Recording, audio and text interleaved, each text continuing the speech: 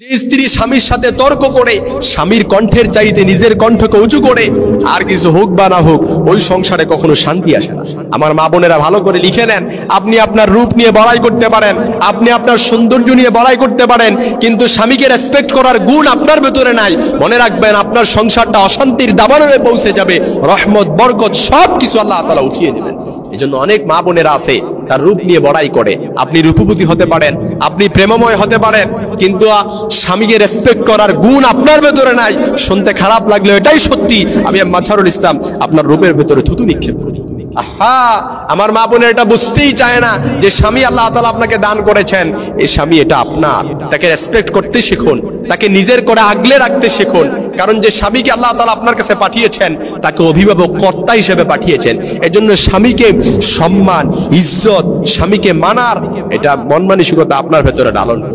এই জন্য আমার মা বোনেরা ভালো করে শিখে নেন। প্রত্যেকটা স্বামী প্রত্যেকটা স্বামী চায় যে তাকে আপনার কাছে প্রত্যেকটা স্বামী, সে চায় যে একটা সুন্দর মনের, আপনি একজন সুন্দর মনের নারী হন, তার চিন্তা পরিকল্পনায় তার সুখ দুঃখের সঙ্গী হবেন, তার পরিকল্পনায় আপনি স্বাচ্ছন্দ্য এনে দেবেন।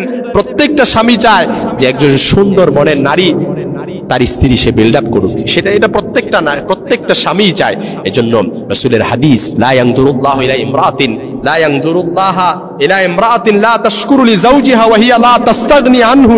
ওই স্ত্রীর দিকে, ওই নারীর দিকে আল্লাহ তাআলা কিয়ামতের ময়দানে ফিরেও তাকাবেন না যে নারী তার স্বামীর কৃতজ্ঞতা আদায় করে না। অথচ সে অর্থাৎ ওই নারীর ভরণ পোষণ তার স্বামী দিচ্ছে তবু তার কৃতজ্ঞতা সে আদায় করে না। আমার মা বোনের অনেকেই দেখবেন পরপুরুষের প্রতি, অর্থাৎ পরপুরুষের কাছে খুব সুন্দর সুন্দর ভাষায় কথা বলে, কিন্তু স্বামীর সাথে কর্কশ ভাষায় কথা বলে। আহা! পরপুরুষের সাথে আপনি কর্কশ সুন্দর ভাষায় কথা বলেন, আপনি তাকে প্রলুব্ধ করার জন্য আপনি তাকে সুন্দর সুন্দর নরম স্বরে কথা বললেন, অথচ আল্লাহ তাআলা কোরআনাল কারীমে বলেছেন, ফালা তাখদানা বিল তোমরা পরপুরুষের সঙ্গে আকর্ষণীয় ভঙ্গিতে কথা বলো না, যাতে যার অন্তরে বেদি রয়েছে, সে প্রলুব্ধ হয়। কিন্তু আফসোস হলো এটাই সত্যি।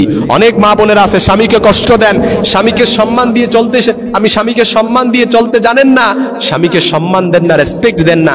আপনি মনে রাখবেন, আপনি স্বামীর সাথে যে তর্ক করলেন, আপনি আপনার স্বামীর কণ্ঠের চাইতে নিজের কণ্ঠকে উঁচু করলেন, আপনি তো উঁচু করলেন না।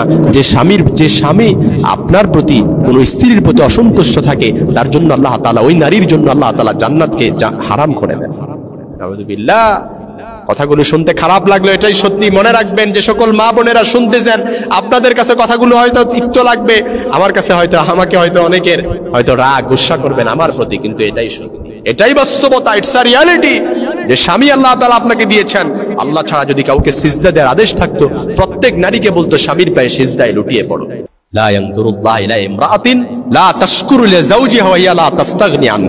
অর্থাৎ যে স্বামী তার স্ত্রীর প্রতি অসন্তুষ্ট, ওই স্বামীর ওই স্ত্রীর প্রতি আল্লাহ তালা কিয়ামতের ময়দানে ফিরেও তাকাবেন না।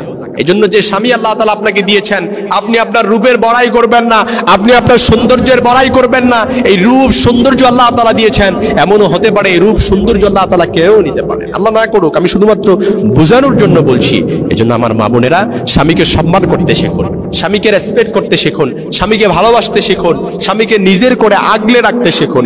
স্বামী যেটা বলে সেটা আপনার কল্যাণের জন্য বলে। স্বামী যদি বলে, আপনি ঘরের বাইরে যাবেন না? তাহলে মনে রাখবেন, আপনার জন্য ঘরের বাইরে যাওয়া নিষিদ্ধ। স্বামী যদি বলে, আপনি এটা করতে পারবেন না, তাহলে মনে রাখবেন এটা আপনার জন্য করা নিষিদ্ধ কারণ এটা আল্লাহ তালা আপনার ওপর অতিরিক্ত বোঝা চাপিয়ে দেয় নাই। আপনার কল্যাণের জন্য স্বামীকে আপনার অভিভাবক হিসেবে আল্লাহ তালা পাঠিয়ে দিয়েছেন। আর রেজালো নিসা। এই জন্য আমার মা বোনেরা মনে রাখবেন, আপনার রূপ, সৌন্দর্য, এটা আজকে আছে, কালও থাকতে পারে। কিন্তু স্বামীকে রেসপেক্ট করেন না, কি হবে এই রূপ দিয়ে?